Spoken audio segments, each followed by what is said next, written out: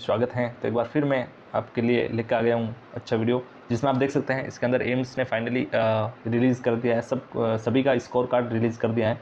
जिन साथियों का लिस्ट के अंदर नाम नहीं आया था, उन साथियों का स्कोर आप खुद अपने सेल्फ देख सकते हैं। अब मैं स्टेप बाय स्टेप आपको बताऊँगा, आप स्कोर कैसे चेक कर सकते हैं।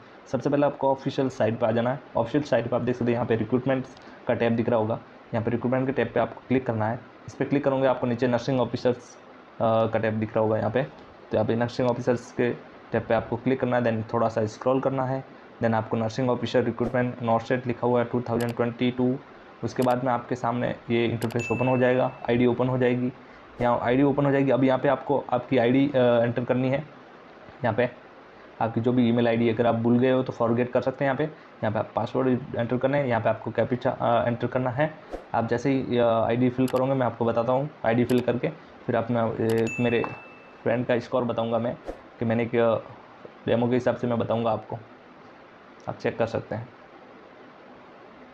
तो फाइनली दोस्तों, आप देख सकते हैं यहाँ पे जो है, आपके ऑप्शंस आ गए हैं। यहाँ पे आप चेक कर सकते हैं। यहाँ पे आप देख सकते हैं रिज़ल्ट का ऑप्शन आ गया है। सभी साथी के रिज़ल्ट का ऑप्शन आ गया है। जिन साथियों का लिस्ट में नाम नहीं था, उनका भी स्कोर कार्ड आ गया है। वो आप चेक कर सकते हैं आपकी ओवरऑल स्कोर कितना बना है। आप देख सकते हैं यहाँ पे रिज़ल्ट का ऑप्शन आ गया है। इस पर आप क्लिक करोगे जैसे ही।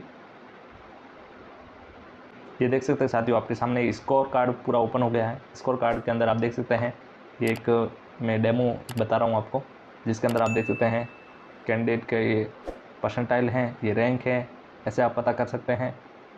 ठीक है दोस्तों? और भी अगर आपको, अगर कोई दिक्कत आ रही हो तो मुझे कमेंट करके बताएँ, मैं आपको रिप्लाई कर दूँगा। और वीडियो अच्छा लगा है तो वीडियो को लाइक शेयर सब्सक्राइब करना ना भूलें। थैंक यू दोस्तों।